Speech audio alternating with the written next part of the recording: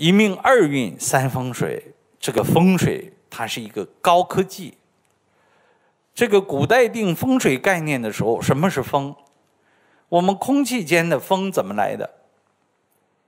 它是我们的地气被树木、被太阳蒸发之后，然后到空气中变成的一种流动的气流。这种流动的气流源自大地。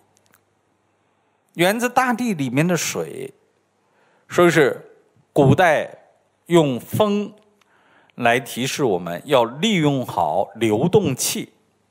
我们的宅子里面不能是一团死气，一团火燥之气，要一团和气，和气才能生财。说是那要把宅子变成一团和气，那你一定要重视天地人三才气，要合在家中。不在家中，那必须窗帘儿白天一定要打开，晚上为了隐私可以遮上。白天打开是三分之一的天，三分之一的天光从这个窗帘透进来了。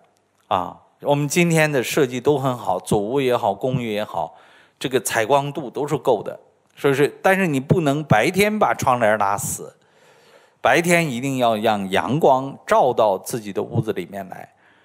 啊，那这是接三分之一的天气，再调三分之一的地气，家中旺了三分之一的人气，啊，就给人啊来充电，来补充能量。你睡一晚上以后，睡得很香，然后这个精神百倍。人的财运好是自己调到的，为什么？你精神好，财运才好。精神百倍，你可以升官，你可以发财，你可以顺利。你可以开智慧，啊，你才有智慧来应对我们这样复杂的现实社会，你才能成为勇者，成为胜者。所以大家要知道，调好自己住宅里的气，这是能量态，这是我们古圣先贤留给我们很重要的解戒法。那么用在。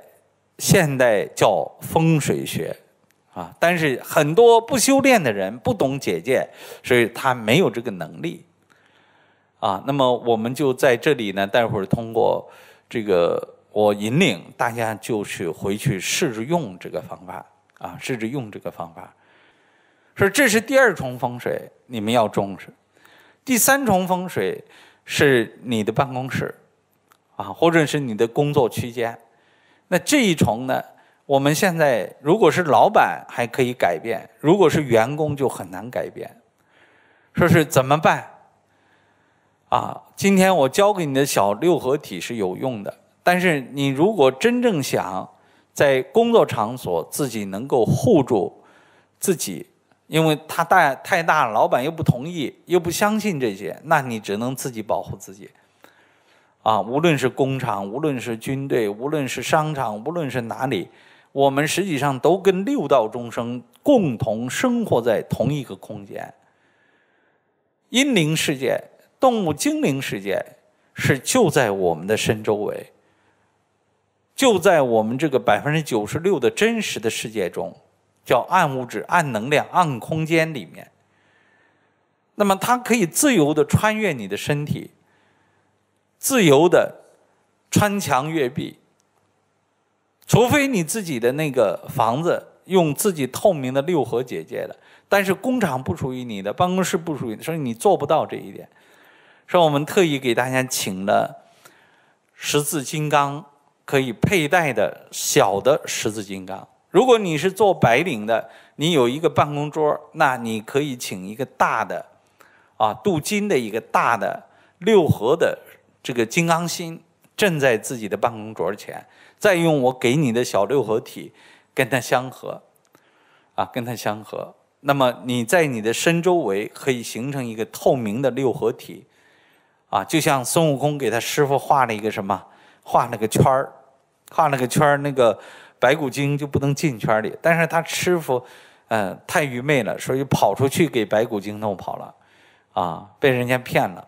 啊，所以你们自己不破坏自己的六合小六合体的时候，那你们是不用担心的啊，不用担心。但是最好佩戴，因为你在工作场所，你是老板，你就回去把自己的房子、办公室也解戒了，然后你的所有的员工都就有福了，啊，你的这个公司里的这些啊留不住人呐，这个员工内斗啊，都是他们的冤亲债主在斗，彼此在斗。所以说，你能够会点这种方法，然后回去把自己的办公室给调理了，那么。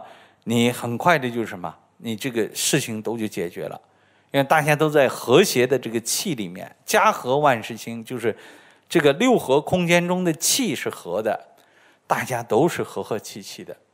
气不和，你的气冲到我了，我的气冲到你了，我的冤亲债主搞了你一下，你的冤亲债主又过来报复我一下，哎，这就是一锅粥了，乱七八糟了。